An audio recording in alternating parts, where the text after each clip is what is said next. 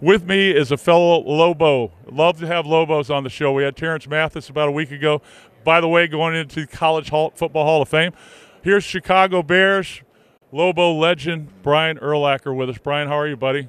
Doing good. Thanks for having me on. Appreciate it. Hey, fel- hey, Talk listen. to a fellow Lobo. That's Not right, ma- my there man. That's of right. us out there. So you were at the Waste Management telling me that everybody had it up, right? Yesterday, at the, I played in the uh, the pro am, and every other hole it was everyone's a Lobo. Everyone's putting up the Woof, Lobo. woof, woof. I was like, what? There had to be 250 people, and I, you would never see people from UNM out in public. So, I So, so. Chris, just so people know, Lobo, pack of wolves. That's right. Pack of wolves, baby. That's Well, it. I spent about six of my uh, 27 and a half years in southern New Mexico. Oh, is that right? That's Yeah, true. I, I was Okay. stationed in Lordsburg, uh, New Mexico, Truth or Consequences, and uh, Oh, yeah, okay. And I even had, ran the Albuquerque station for a short time. So uh, up there in Lobo country, but I was down there in Aggie country and, and Yeah, everything we, we don't talk about them. We don't talk about we don't talk, that. we don't talk about them Aggies. Yeah, well, Brian, let's talk real quick about your Bears.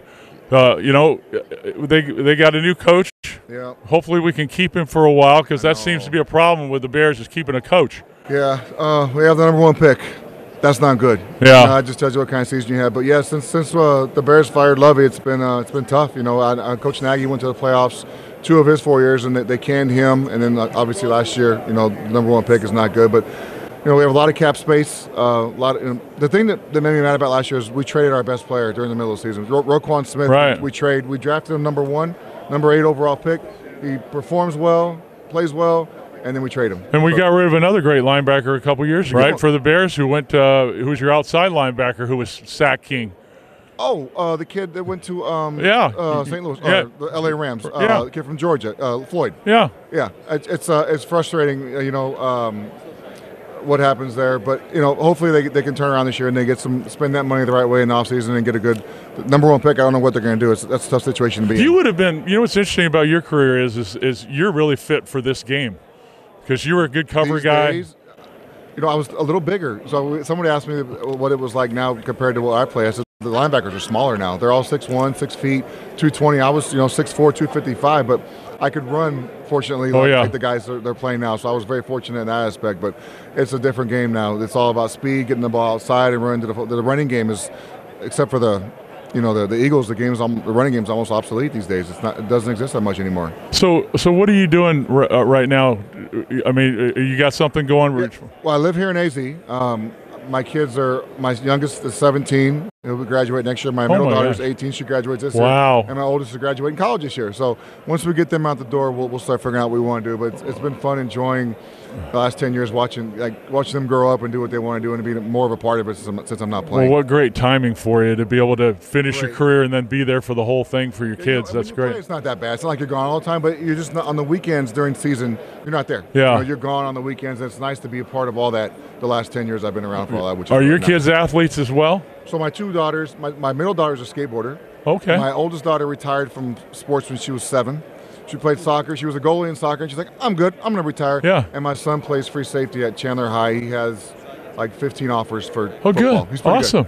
The- So so he's a senior New- this New year or Mex- just he's going to be a senior next year. Oh, good. He has an offer from New Mexico. That's, That's, a good oh, thing. hey, is that is that right? Yeah, we got. He's got New Mexico, Penn State, Iowa, Wisconsin, Notre Dame. Cover Washington- guy or a guy who likes to get up and hit somebody? Yes, Both. both. Oh, good for him. Yeah, he likes contact, which is good. Well, he got that from you probably. I know I got my arm from my dad, so He- he you know, likes it helps. good. It does help. I agree.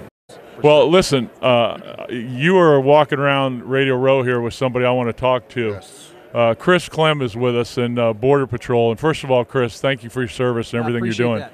It's da- it, it's dangerous out there. Uh, we're not doing a whole lot to support you guys, and I'm I'm not talking politics here. I'm just talking truth.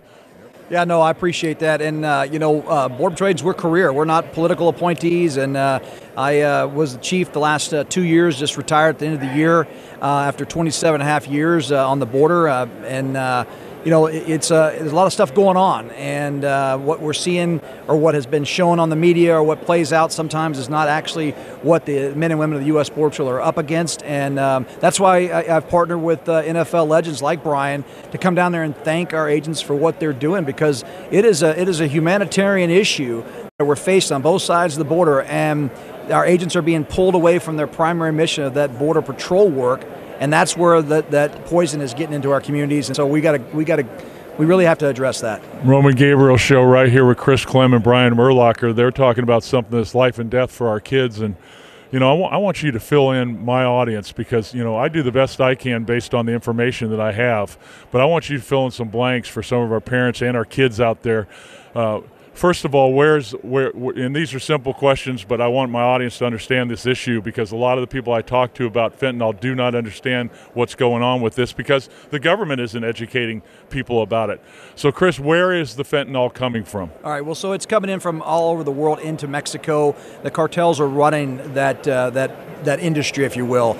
Um, and, and, what's happening is it's coming in uh, hidden in compartments and, and on people through the lawful ports of entries where the Border Patrol gets involved. In fact, last year there were 700 pounds of fentanyl seized on the southwest border, at least in, in, the, in the, Arizona area.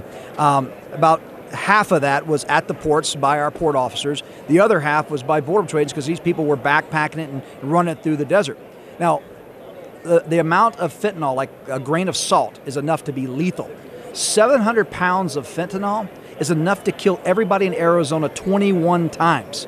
And so it doesn't take much when that stuff's in the wrong hands. And so I would advise parents, I would advise anybody that's listening, do not take anything from strangers. I mean, that sounds like something we learned in kindergarten. But in today's world, I mean, look, there are 100, 150 deaths a day from fentanyl. And-